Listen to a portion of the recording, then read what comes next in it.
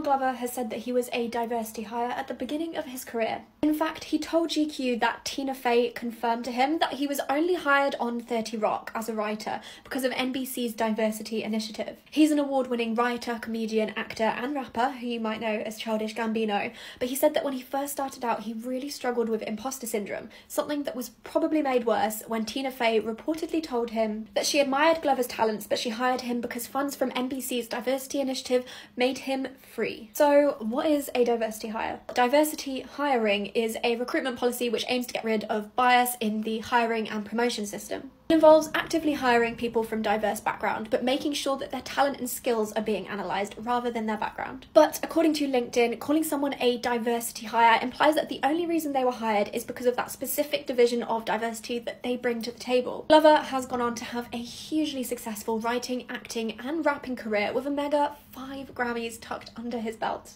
So yeah, his talent obviously exceeds the label, but was it ever fair in the first place? Have you ever had any personal experience of diversity hiring that you would like to share?